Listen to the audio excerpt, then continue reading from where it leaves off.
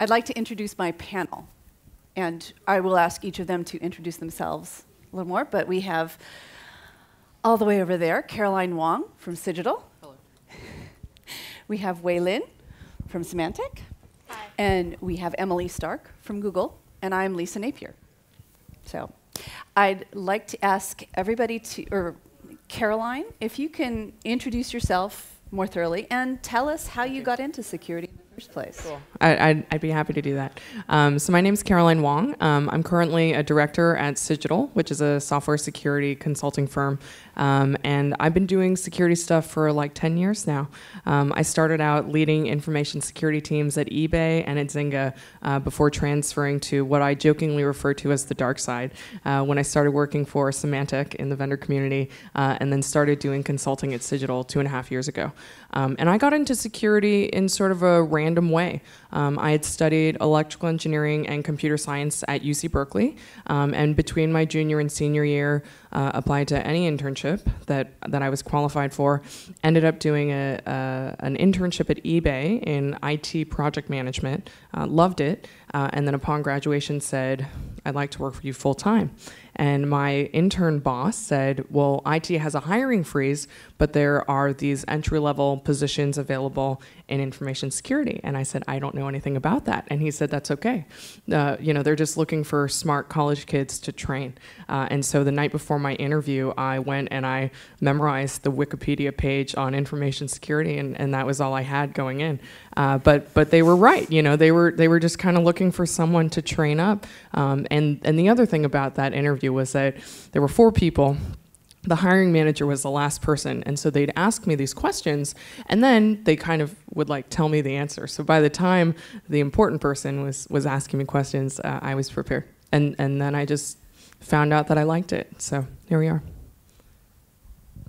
Okay, very fascinating uh, experience in the history. So uh, I'm Wei Lin. I have been working for Symantec for 15 and a half years.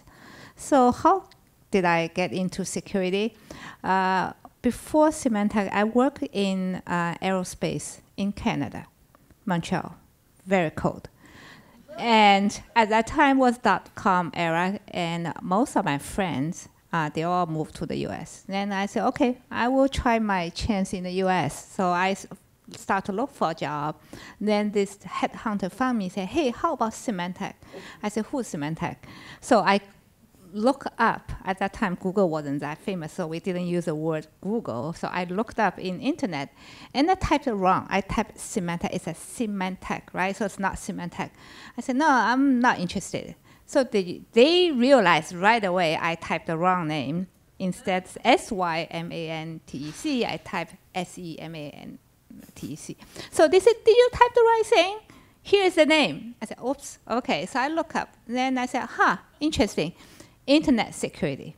And now we're in .com, and you know the web thing seems very interesting. I said, okay, I will give a try. So I came to Santa Monica. At that time, our office is in Santa Monica, the Norton branch, in March. So Canada was all white snow, Santa Monica, flower, beaches. I said, wow, that's a place I want to come, no matter what. so I got into the Norton group. Um, then they said, okay, what job do you want?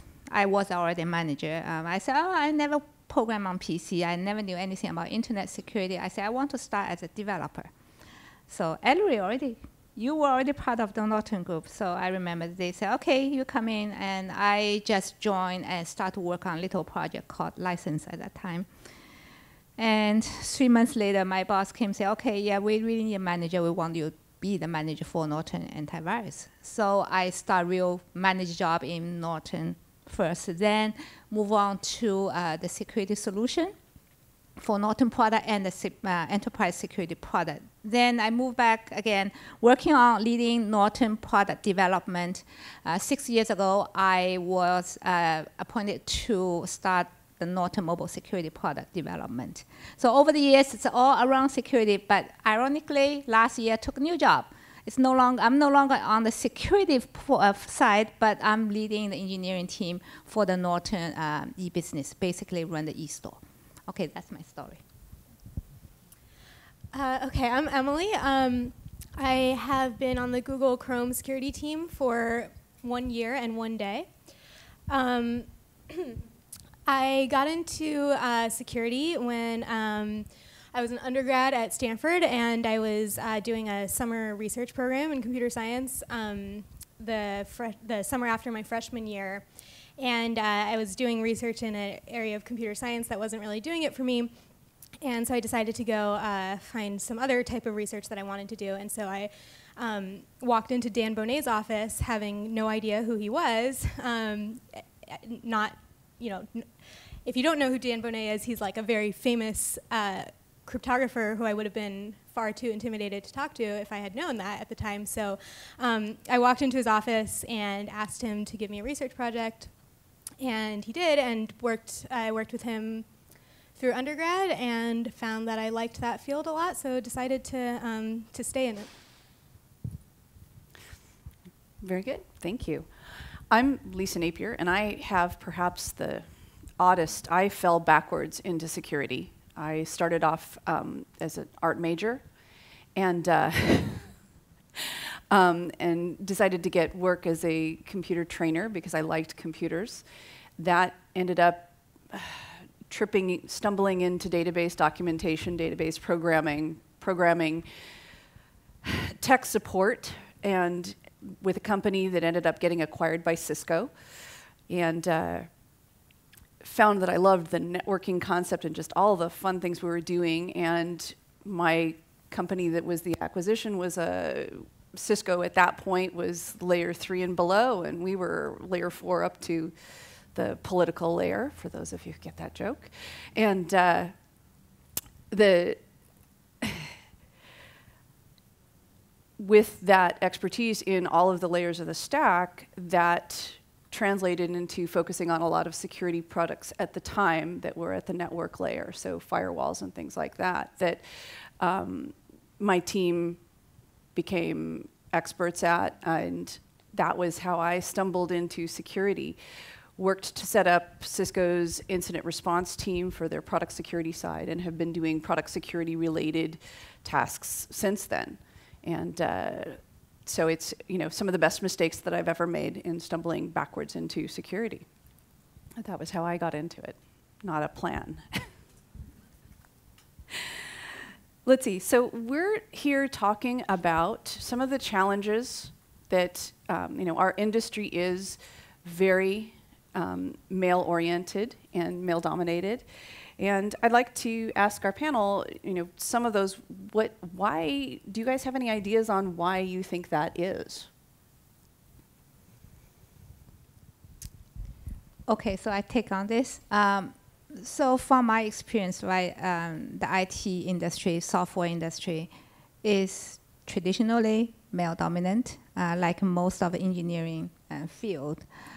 And over the year, I've been involved in many of these women initiatives in IT or in tech sector. Uh, we have discussed a lot about this. Why is that? It's a little look at it, just the, the whole population, right? And we look back.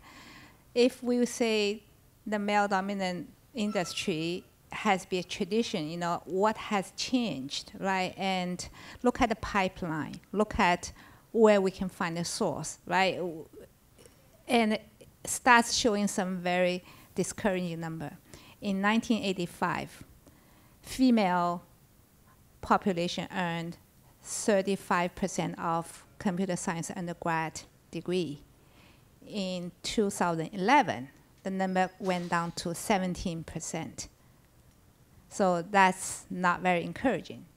Um, and also, if you go back, look at, we have less female student in CS. So that also just feed the industry with less population. Okay, so the situation has not been increased, it has going to the wrong direction.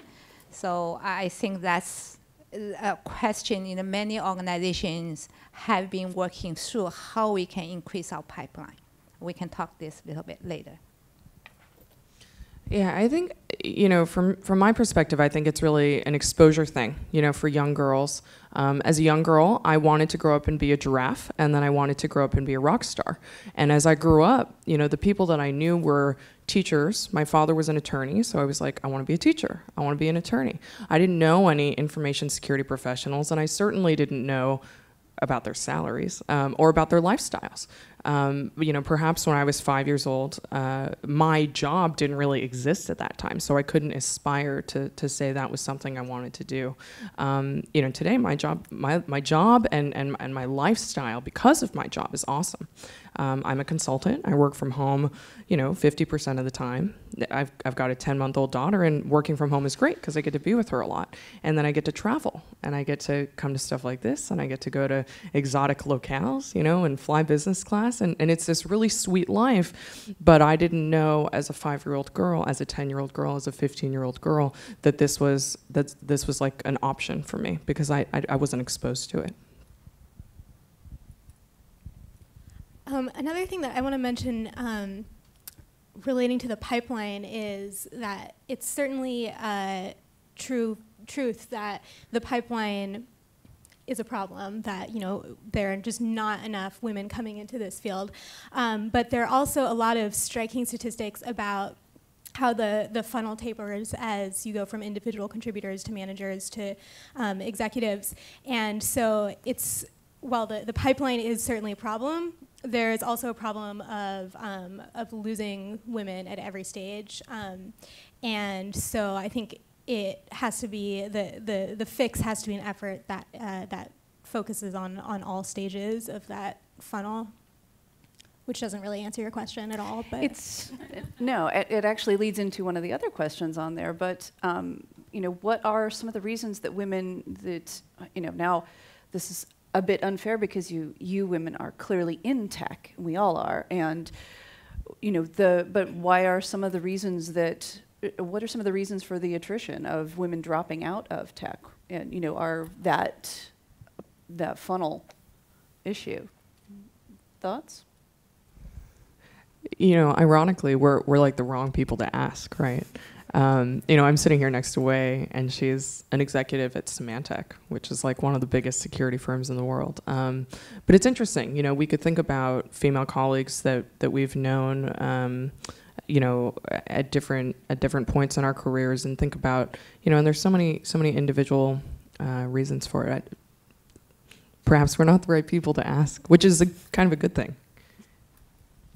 Well, I can say that I, you know, while I am still in tech, I have thought about dropping out of tech many times and have felt many times like I can't do this. I'm done. Got to go. Like, I don't know, do something else. I don't know what it would be, but um, the times that I have thought about doing something else, it's uh, it's mostly like a, you know, there's a feeling of exhaustion that I think uh, hopefully a lot of people can resonate with. Um, you know, I think this is a field that that attracts really smart people, and so the competition is really tough. Um, it's it's a very intense field to be in. There, the demands are high. Um, it's a fantastic lifestyle, but it's also a demanding one, um, and.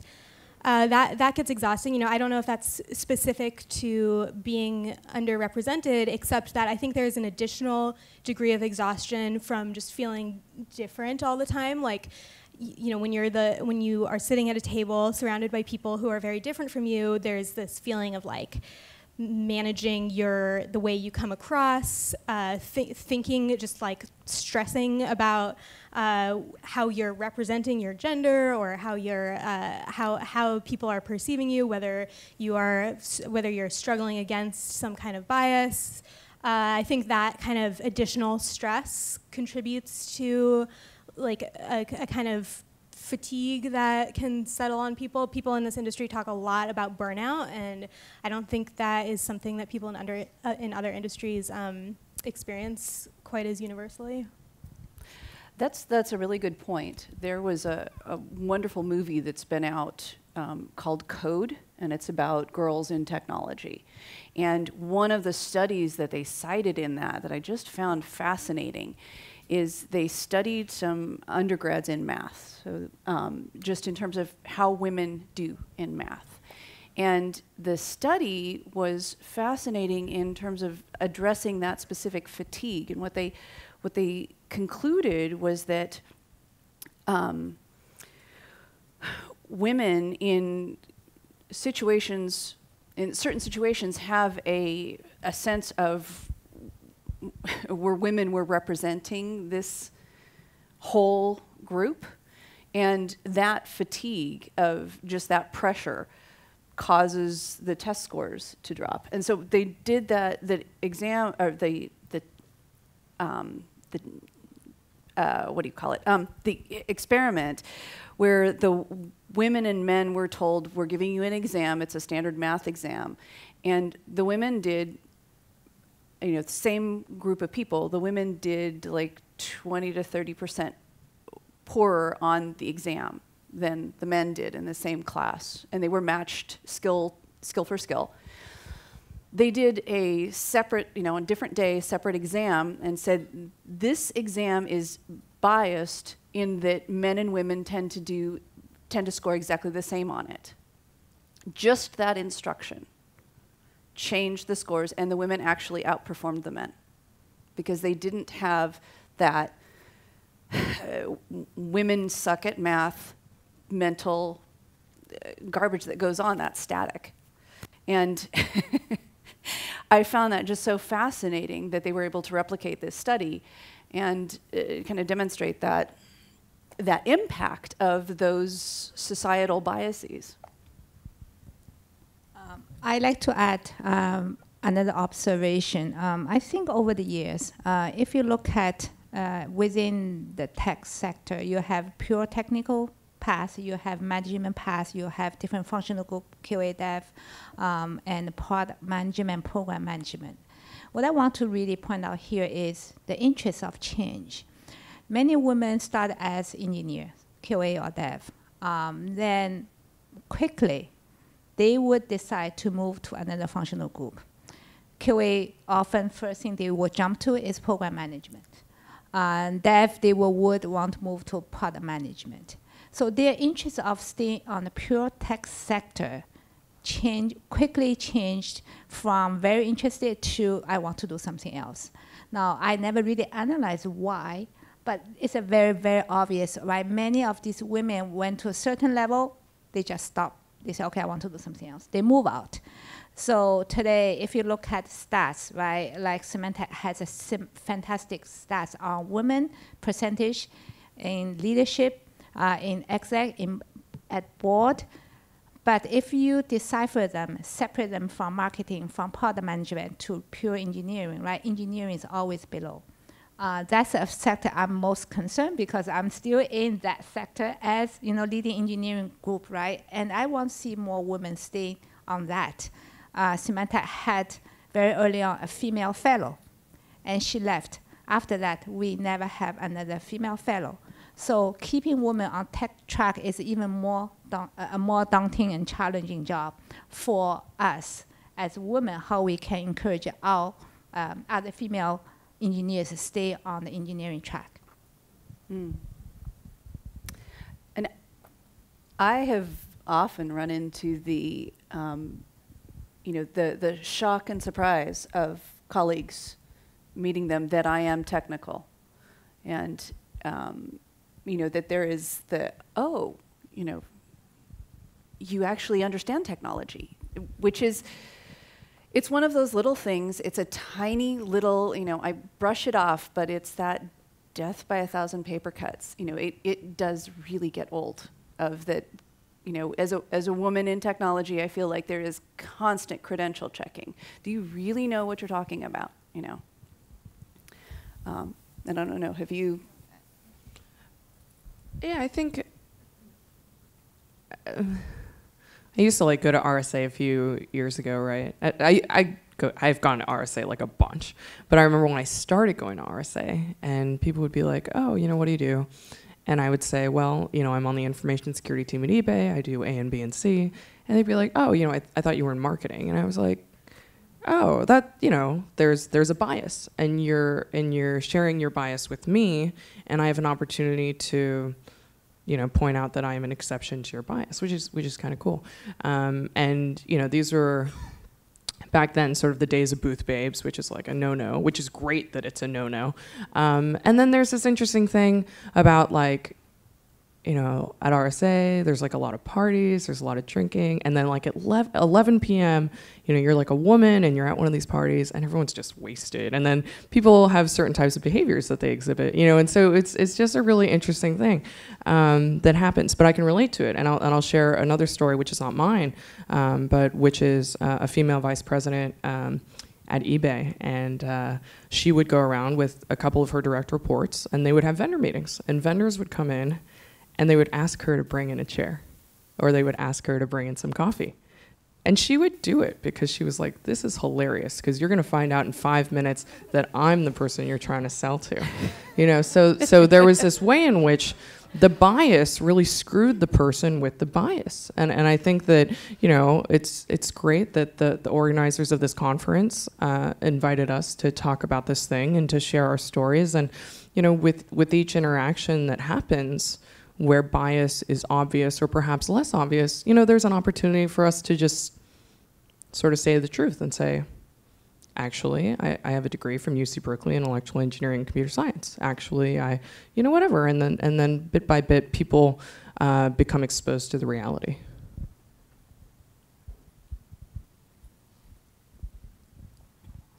So, thank you, Caroline. That was I. I love that bit about um, bias, those examples of bias are really an opportunity to educate and reevaluate, you know, change people's minds, because that's, and in my mind, one of the most challenging things are the, um, the hidden bias, the bias that people won't admit to. And, you know, I have to admit that I, you know, became aware that I had my own bias, that I was you know, at the beginning of my career, I loved the idea that I was the, the one girl, the one chick who got it and who wasn't like all the other girls. And so I had, you know, I participated in this bias of I'm the only technical person, you know, I'm the only technical woman here. All the other women are probably marketing or soft skills stuff. And, you know, coming to terms with my own bias was a little bit of a, oh man. Um, it's an unpleasant moment, but that's the only, recognizing it is the only way we can begin to change these things and admitting that bias exists. We all have biases based on our experience, you know, who we've run across in life. And, um, but becoming aware of those and owning that bias and trying to do something better is about it.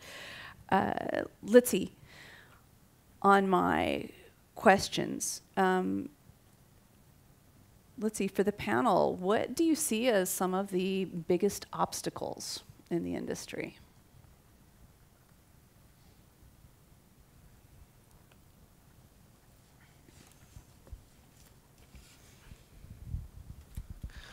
I think Emily did a great job of talking about sort of the competitiveness, you know, some of the exhaustion, you know, I think that with engineering, regardless of whether you're male or female, you know, there is this fixation on like solving a problem. And sometimes that takes these like circuitous routes and you're like up all night and you're just trying to figure it out. And and maybe um, maybe you're able to sort of manage your your work life and your energy balance you know and maybe you're not and maybe you burn out. Um, but i think that happens to, to both men as well as women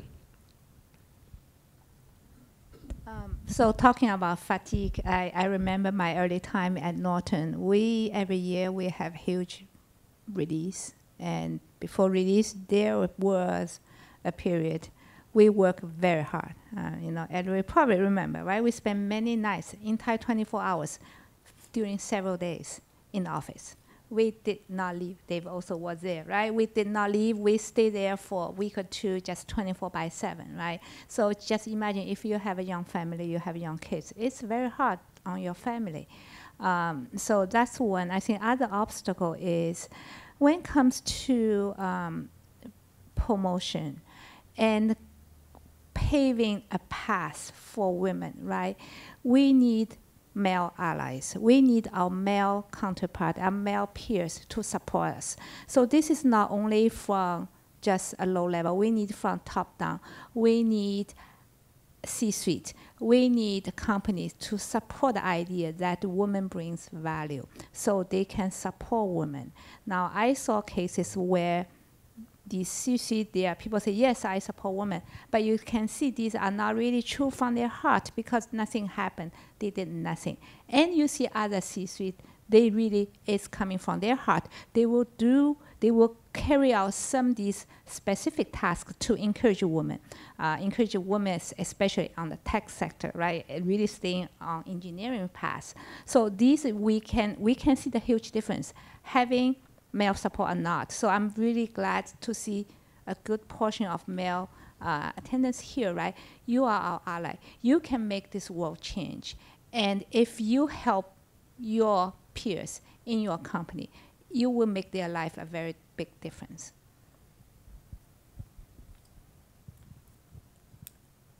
Um, in, in, in addition to the, the, the burnout, um, another thing that's been a major challenge for, for me, and I think that a lot of people uh, talk about, is imposter syndrome. And I think it has the same kind of source of like everyone's just really smart. So, you know, when you're like in elementary school, it's like really easy to be the smart kid. Um, but you know, when you're in a field full of the most, like the smartest, most talented, most dedicated people, like most people that I've ever worked with in my life are not only really, really brilliant, but also like work really hard and have lots of hobbies and like are just amazing people in every possible way. Um, so it's really easy to feel completely inadequate. Um, so I don't really know what to do about that, but um, it sucks. Yeah, I want to add some comments since uh, uh, we just uh, yeah since we just mentioned about family. I think that's something we haven't talked about, and that's actually very important. So I think uh, what I feel based on my experience, there's two problems. One is the pipeline. I grew up in China. I think in China uh, we studied this like uh, women half the sky. So um, like we have more women uh, in major in like engineering.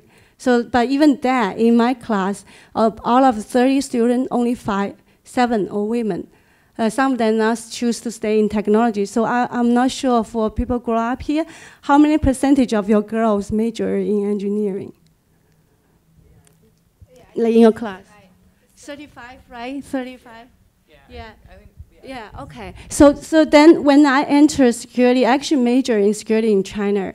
I choose security because I think that's a very special field. A lot of my um, male uh, partner, student, classmates, they actually doing a lot of developments. So at that time was a little field. So, so it's interesting that when I came to US, I studied my career app security, I actually at Cigital, I was the only women engineer at that time. So there's one thing I want to mention. I, I want to be brutally direct. All, all of my um, uh, male um, like uh, co uh, co-workers, they have a wife, uh, housewife. So they have support in their families. For, for women, mostly ma um, women majoring engineers, so most their husbands also work. And so we have to also support family. We don't have to support our co-workers, male co-workers has. So a lot of time what I see for my like if I have any women peer, they end up making decisions based on the opportunity that's better for supported family. So like the reason I quit doing consulting and moved to Wells Fargo is because they support working from home. So that's a perfect time when I have my kids. But for all my um, male partners, uh, like male uh, coworkers, they all make uh, take risky uh, moves. They move around the country. They were able to pick uh, better opportunities. So I think in order to do that, company also need to provide better support. I literally had uh, when I was pregnant. I literally in the meeting. One, um, when another male coworker, he, his wife was pregnant, and she was working at that time. But coworker said, "There's no question. Once we have the kid, my wife will give up, um, give up um, and uh, take care of the kids, and because children is the most important." I was pregnant with my kids, and he said that. So it's like really hurtful. I, mean, so this is like, I, we never want to talk about that, but I think childbirth and raising family has a lot of burden on women. Even we work, we have good compensation, but there are a lot of things women need to take care of. When we travel, we need to make arrangements.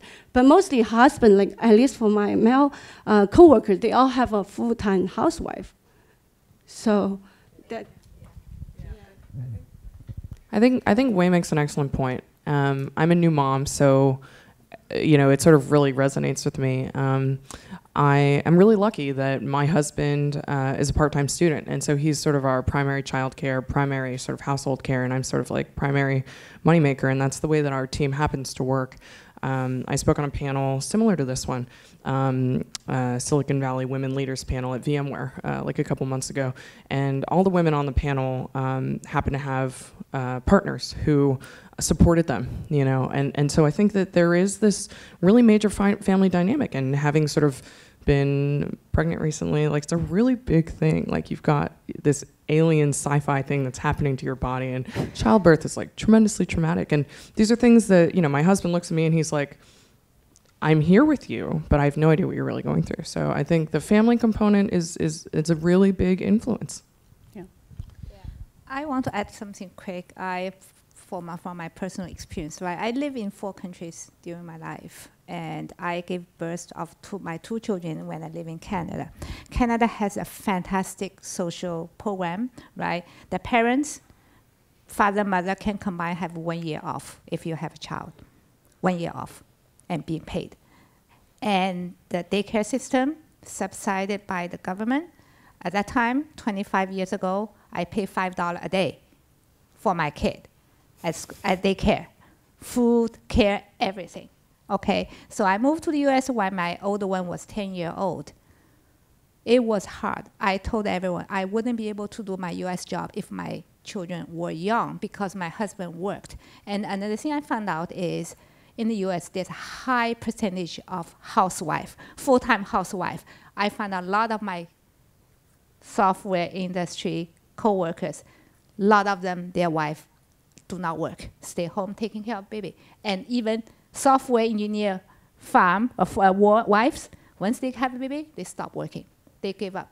And they will stay home until the children become older. So that's a society, the social phenomenon spec- specific in the US. Um, so I don't have children, uh, but I plan to someday, and this is something I worry about a lot because I've had many male coworkers who have children, but I've never worked with a woman who has had children.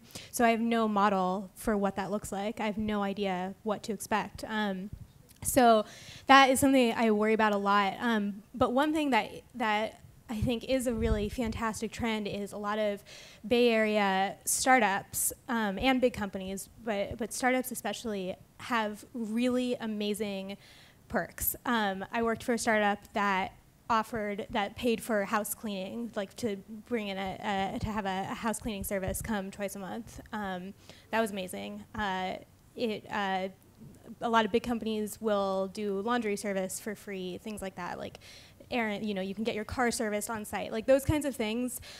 They're like ridiculous in some ways, but in uh, in other ways, like it it totally makes sense because, especially in the Bay Area, the the reality is that you pretty much do have to have two incomes. Um, so it, it, makes sense for the com- the companies to kind of step up and um, provide some of the basic. Um, things that you need in your life that are really really hard to get done when you have two um, two working partners so I hope that uh, that's like a trend that kind of trickles throughout the, th- through in, into other industries and other other parts of the country where it becomes more common to have these perks that help with just everyday life things. So, uh, yeah, for me, there's there are some things that, and I, I see hints that things are changing. I, I have kids as well. Um, my kids are, you know, middle school aged, elementary school aged, and it is difficult balancing work and family life, even with um, you know companies that state that they do that. There's still that competition of you know, the single colleagues who are willing to stay at all hours and, you know, can be at the office at eight o'clock where, you know, I'm dropping my kids off at eight o'clock and I can get there by nine, maybe. Fingers crossed that there's no bad, bad traffic. Um, but those demands on families and that it's so, in the US in particular, it falls so disproportionately on women, speaks a lot to our fairly rigid roles about what it means to be male and female. And there's kind of this been, um, you know, one of the discussion points in feminist groups is how much sexism damages men as well in holding them to a very rigid role, as well as women to a very rigid role. And I, I was lucky to grow up with a single parent, and my mother did everything. She, if the car was broke, she fixed it fixed it. If things around the house needed to be fixed, she she did that. So I saw that role model as that you know women can do everything, and grew up without that rigid role model of that's that's women's work and that's men's work, and um, so I I think the more we can integrate that as our society, as we can change that and have you know, have a better discussion on what it means to be men and women. And there's far more similarities than there are differences. And that's one of the things that I really try and. I see we have a question, and I want to Yes. get to your question in just a moment. Before we get to the question, I think we've done a lot of really awesome story shelling, uh, storytelling here, and I think it's awesome that Mhm. the women here are open enough to share. Um, there's there's good stuff too, you know, and I wish that this panel was another hour longer. and we have opportunities to talk to each other after the panel, but there's good stuff too, and I do think that we should spend some time on the good stuff. Um, you know, Yeah. our our little group met about an hour ago. Um, and there's like tremendous resources for girls to increase our pipeline of women.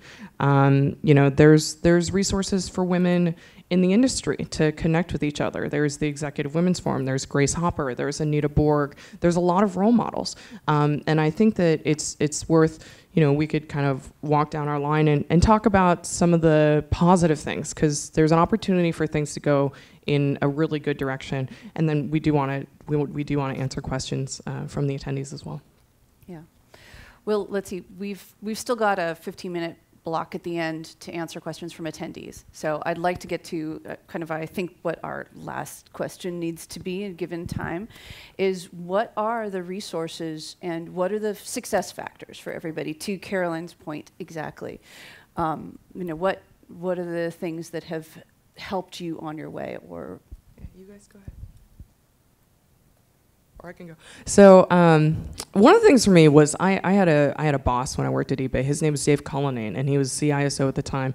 And he was like a total woman supporter. And it, and it wasn't like he was a woman supporter. It was like he was a people supporter, and he was trying to build the best team he could. And we had a disproportionate number of women on our information security team at eBay compared to what you might find in the industry or even in technology. So that was totally cool. And he introduced me to this group called the Executive Women's Forum. Uh, it's run by Joyce Brocaglia, who runs Alta Associates, which is a re- recruiting firm uh, for information security, risk management, and privacy. Uh, and this group of six or so women, you know, would go to RSA, they'd go to Black Hat, and they'd run into each other all the time. And they were like, hey, you know, we should hang out. We should make this a thing. And so there's this annual conference. There's all these events that happen. Um, one of the things that they've done to partner with actually Carnegie Mellon, ISC Squared, and the National Cybersecurity Alliance, they've put together this this curriculum for school children boys and girls, you know, K through 12, and it's like targeted for each of those age groups. So you talk to, you know, a kindergartner about information security differently than you would talk to an eighth grader about information security. But this curriculum is built, it's out there, and they actually encourage people to teach it at your children's schools, or maybe you don't have a kid, you know, teach it at, at one of your local schools. Um, so, so there are these things. Um, so I'm part of this executive women's forums group, and uh, you know, one night there's like a networking event, and I've had a couple glasses of wine, and one of my colleagues suggests to me, she's like, you know, you think about this metric stuff a lot. Maybe you should write a book. And it hadn't occurred to me before she suggested that that that was like a thing that was possible, you know. Uh, and sort of fast forward, um, you know, I end up asking some of my female colleagues to be contributors to my book, and so it ends up being this team effort. Um, but but these are just some of the things uh, that have helped me. You know, great great mentors uh, and and resources that are available uh, if if if you want to tap into them. Um, also, I like to talk about the resource out there, right? So we talk about um, the pipeline issue. So there are a lot of organizations out there to try help out, and I personally went out in many occasions to talk to middle school, high school female students about a life of a software engineer, what is you know, what they are doing, but also so one thing you can help is there are few, uh, two of them I really I think you can help. One is a code hour software engineer donate one hour, go out, coach these kids to program. So that's one. That's a, a comp, uh, that's an organization called Co Hour. It's just anyone can be volunteer. I think Symantec organized one of these events in December, right? For ask software engineer to volunteer. Second is girls who code, right? There's a movie. Uh, so these are the resources out there in your community I'm sure there are many, many of them. Uh, but also for career women, there are a lot of other organizations out there. Anita Borg Institute is one of them, and it organizes the world's largest conference for women in computing called Grace Hopper Celebration for Women in Computing. Every year, um, the last year attendance reached to 12,000 people coming from all over the world and their content to uh, address student, early career, mid-career, and senior career level. Uh, U.S. CTO Smith, uh, Megan Smith is a friend of this conference. Every year she comes, talk about, give a key speak those. Last year she brought her team, U.S. government team, female team to the conference. Sheryl Sandberg was a keynote as well. Uh, so many of these resources out there. Uh, if you are interested, I can give you more information. I have been involved in that conference for a very long time. So anyway, we can talk afterwards. I want to give a chance to others. Um, I'll just give a really quick plug for something that Google does. Uh, it, um, there's a highly encouraged unconscious bias training that Google offers. Um, and many many employees do it. If you work for a large company, I think there's probably a good chance that your company offers something like this. Uh, it's a it's I think it, it's incredibly valuable for pretty much everyone in the industry. Um, it helps you identify your own biases and also helps you deal with situations where you might um, be uncomfortable or see a situation where someone else is uncomfortable. Uh, yeah, I, I, I, hope that it's available to many of you uh, from your companies, and if it isn't, then it might be a good thing to uh, ask your, your leadership why, why, it, why it isn't, because I think it's something that everyone in a professional working environment should uh, have, have access to. Yeah, I know there's a, I, and I'm, I'm sorry the name escapes me, but it's, I think it's Harvard or one of the East Coast universities that does have a, an unconscious bias catalog and some resources that are free online and available. And um, you know, for me, some of the best resources are expanding my mentor network and getting a hold of some, you know, working out some good mentor relationships. One of the early mistakes that I personally made was looking for female mentors specifically, because they're usually really busy, and expanding that to, you know, I've got a lot of really great male colleagues, and looking at them as mentors and figuring out some of these things can really help um, you know, give me the mentor network to progress my career. And so I hope that is useful advice and helpful for other people as well, is really figuring out those mentor relationships because they're very valuable, whether they're a, an organization like EWF or, you know, personal friendships that you develop and, um, and leverage from that. So, and I think we're um, we are at our Q and A system, so or session. So we have time for questions. Uh, the gentleman in the purple had a question.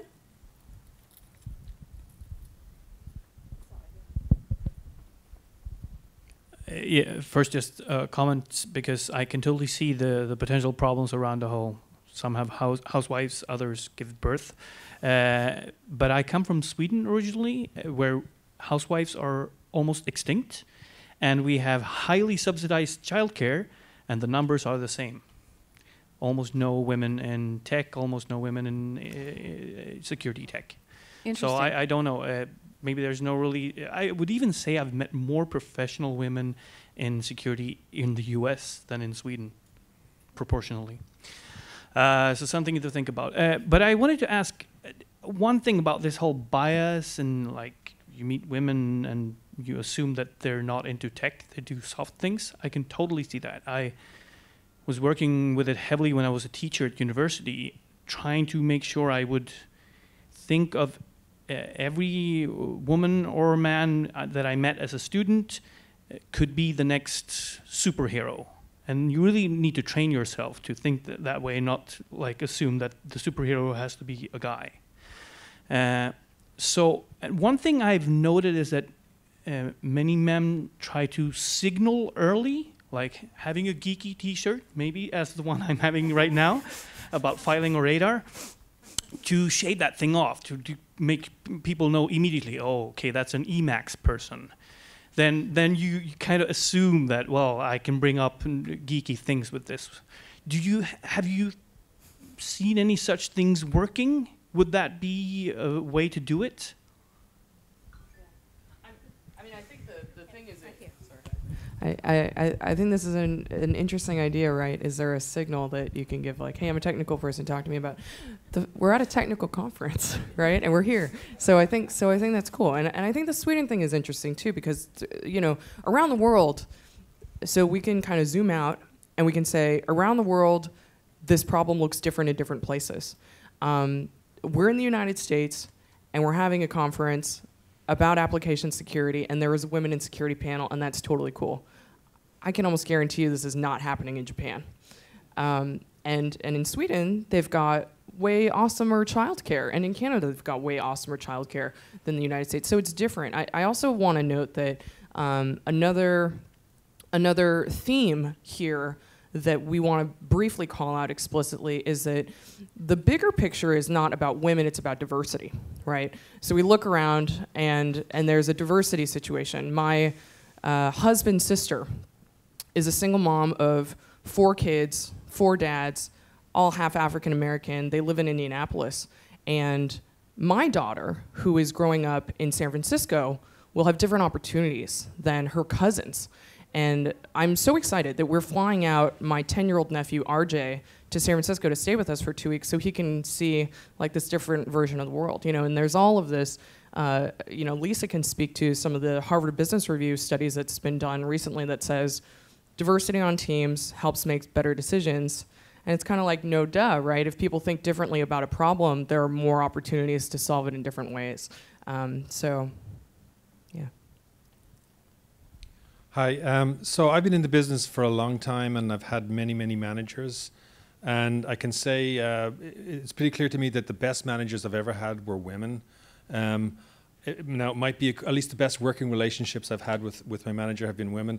It might be a coincidence, but I think probably not. Um, my non-expert theory is is that when you get men together, there's always this kind of testosterone thing going on that just kind of clouds judgments.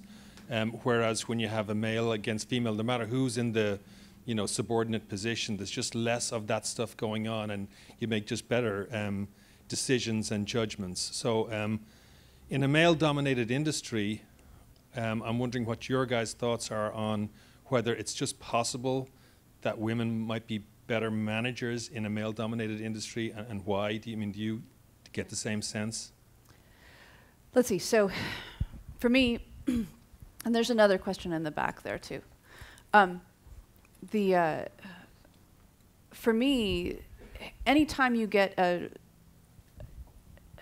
a homogenous group, you're going to have your you've got clouded judgment. You can't see the full picture. The more diverse your group, you know, if you've got people from different backgrounds, different walks of life, different visibility, you're going to make better decisions. It tones down that that competition, the the testosterone cloud, whatever you want to call it, um, when you have a more diverse group making the decisions. Um, we talked earlier today about the um, uh, you know, the some company cultures can have a, what amounts to a bullying culture, where you know the loudest voice wins. It's not really about um, what the best solution is, but who's willing to fight to the death for that solution. And uh, with a with a diverse team, with people from different walks of life, different sexes, that we have what we've all experienced, I think, fairly universally, is that the better diversity representation on the team, the better decisions are made, the less of a bullying culture is allowed to form and persist. Um, to answer Dermot's question, right, will would women be a better manager, right? I, I think that per my experience, it's all about the dynamic of the group, manager and the subordinates, right? How each other view each other's value, how they can uh, work together as a team. That is the huge uh, decision fac- uh, defective factor to influence that relationship, right? There are cases that you can come up very well with a female leader and group of male subordinate, no problem raised. But it can also come up with a situation where a female leader just have few people just can't work out. I personally experienced these cases that I had pure male group, never had a problem. And recently I had a problem. I have a diverse team where one male person just didn't work out with the other female person. That also affect the relationship I had with that male subordinate. So at the end, my reflection is really the dynamics. The dynamics among these people.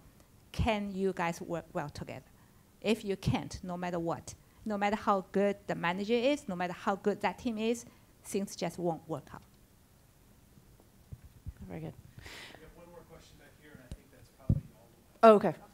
So I do some mentoring for um, my school, and part of it is that I always tell them like what I do, engineering and everything, and the first thing that comes to their, mi- their mind is like, wow, that's too intense for women, and it, it's intimidating. And I try to encourage them, no, it just takes a lot of work.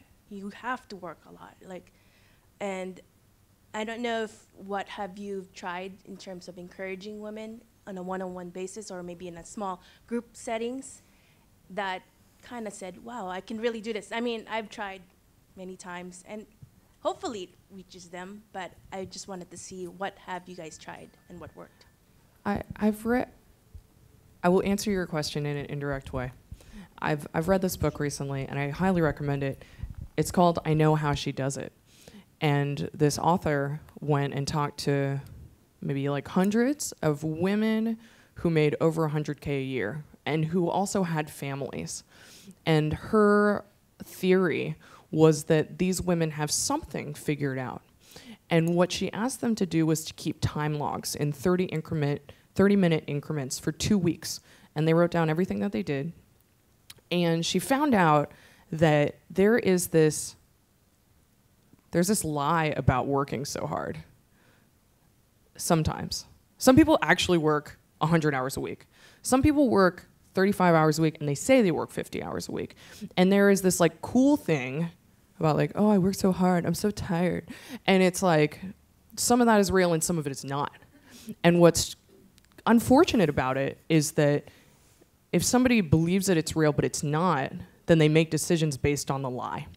And this this book is super cool because she's like these women make tons of money. They've got really great jobs. They manage their families.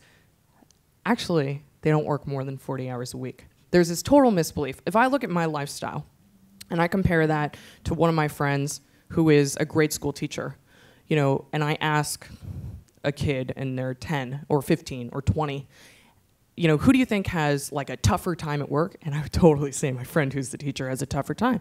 And a lot of that for me personally is because I get to work from home so much of the time. You know, but that's one of the cool things about working in tech. There are some jobs where because it happens with a laptop and with a cell phone, you get to work from home. My teacher friend can't work from home.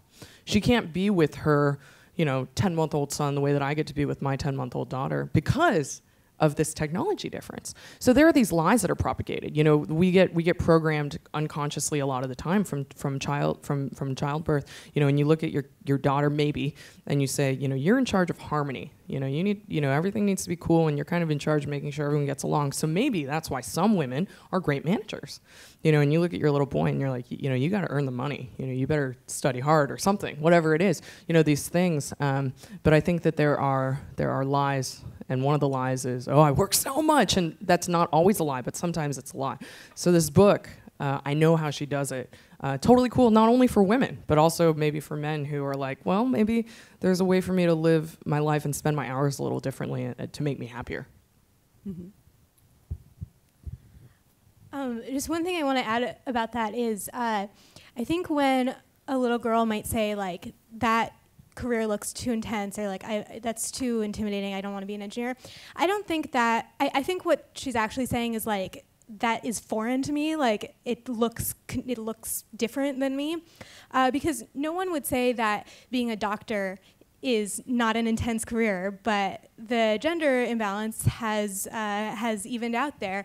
Uh, so I, I don't think it's really that children think that something is too intense for them. I think it's just a way of saying like, it's not me. It doesn't look like me. I can't see myself doing that. So I, I don't know if that that's not particularly constructive, but like, you know, if someone were to were to say that to me, I think I would say like, you can do something intense. Like there's no reason that that you shouldn't be able to do that intense career as compared to a million other intense careers that you would be interested in. So unfortunately, I think it's more it's more likely a problem of a lack of role models or a lack of like um, cultural or uh, the, the, the presence of stereotypes that contributes to that. That's just my gut feeling, though. I know we are end of time. Uh, so quickly, um, so there are a lot of events, right? I went talk to these students, female students, and when I ask questions, I asked three questions at the beginning. Who wants who wants to become doctor? A lot of hands. Who wants to be a lawyer? A lot of hands. Who wants to be engineer? One or two hands only, right? So exposure, hardwiring, and maybe one thing I suggest, I recommend you to do, I did with my daughters. When they were in high middle school, I gave them one summer project each. Look at, choose three potential profession you want to be in the future. Do study. Study on how the study lens, how hard, etc. Second is when you can really get into that field, job opportunity. And third is the money you can earn. Do this and come back, tell me what you want to be.